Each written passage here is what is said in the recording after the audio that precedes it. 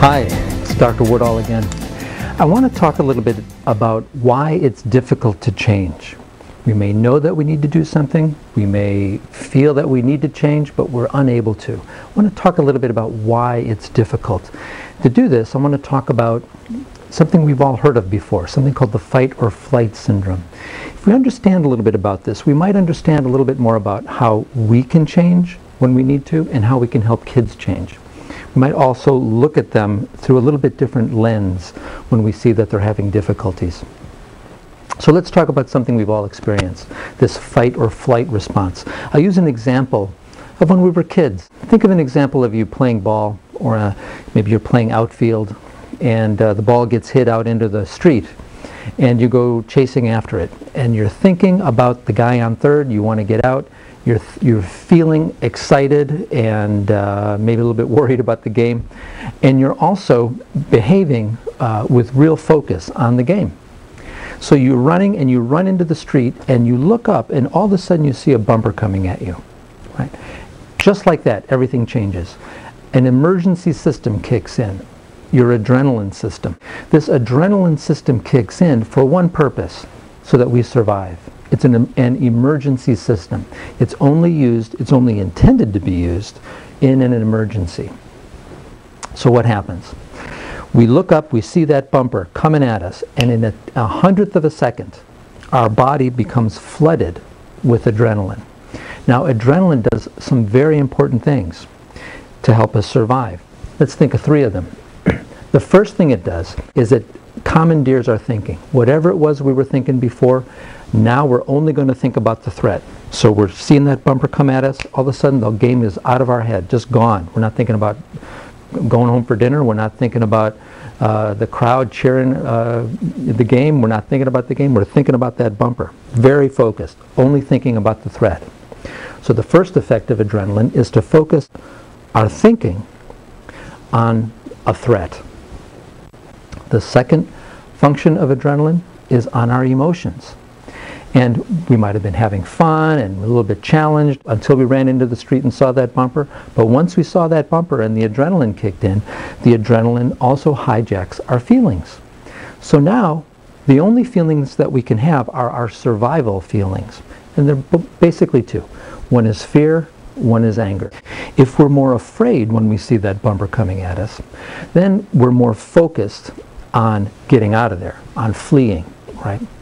Right? It helps us stay focused on what we need to do to get away. That fear does. If we're more angry than fearful, then we're more focused on fighting the thing that's threatening us. Okay, so adrenaline does these two things to our feelings.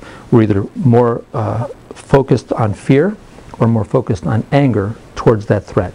One helps us get out of there. The other helps us fight. Okay, so adrenaline is now uh, focused our thoughts only on the threat, and it's focused our emotions on fear or anger. The third thing it does is it affects our behavior. In this case, see the bumper coming at us, and in a fraction of a second we jump out of the way. Our muscles are tensed, our heart starts pounding faster, our eyes dilate, our respiration gets faster, all to help us either flee from that thing that's coming at us, the bumper, or to fight it. It's a great mechanism that without even thinking, all of these things happen. That's the key without even thinking, all of these things happen.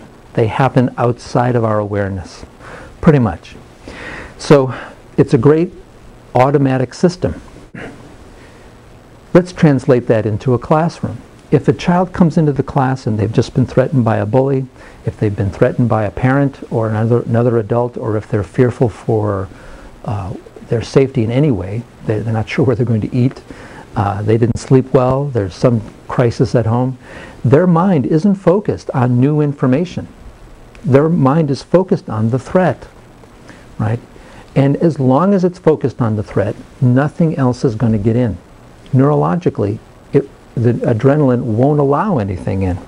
Similarly, emotionally, the child is, is wired more towards fear and withdrawal or anger and lashing out. Remember we talked about the weakened and the rigid identities? That's the root of, the, uh, of these two things. And behaviorally, the child may either be listless, lethargic, or hyper, hyperactive and bouncing around. So, What we need to do then is to help the child calm their brain down so that the adrenaline levels can go down, so that the adrenaline will release the brain and allow it to think again. Think of it this way. It's like a it's like one of those needles that you see on a stereo system or in a car where it's green and then it goes into the red. That adrenaline in normal day-to-day life is just, you know, right here in the green. But when an emergency comes up, it flips over into the red and it floods the body with that adrenaline. And once, let's say the threat's gone, that car bumper moves past us, that adrenaline can start to go down again to the normal level, right? And then once as it does that, as the adrenaline level goes down, it releases the mind to think again. It releases the emotions to be flexible again. And it releases our behavior so that we don't feel the need to repeat behaviors over and over again. Okay? Maybe we're living under such a constant state of threat that that adrenaline level never really gets a chance to go down. So we're constantly in a hyper adrenaline state where our mind is always focused on threat, our emotions are always focused in anger and fear, and our behavior is always constricted by these things. Or it only takes a little bit to push us into that red zone. That's a problem. That's a problem for us as adults in our relationships. It's a problem when we're trying to solve problems when, uh, at work or if we're trying to be creative with other people. It's a problem for kids if they're trying to learn. So this is the value of helping children lower their adrenaline levels because it liberates their thinking, their feeling, and their behavior. Right? That's the value of creating that bowl, forming that bowl we talked about in the previous videos we don't do it, the child's brain is going to be preoccupied with um, the sense of threat, whether they can identify a threat or not. Okay? So to teach a child to be engaged in learning, we need to help them calm their brain down. And that's what forming the bowl does. So what we're going to talk about in the subsequent videos are four domains that if we work in these four domains, we can help reduce that adrenaline. And it's something we have to practice. These are environments we have to create, as we were talking about in forming the bowl in the previous video. That's the necessity of forming that bowl, creating that sense of safety and trust so that the child's adrenaline can go down, right? So that they can begin to learn again, that their brain can be liberated, their emotions can be free again, and their behavior can be creative. Okay? These four domains are reflectivity, reframing, responsibility, and relationships. We'll talk about those in coming videos. Thanks a lot. We'll see you soon.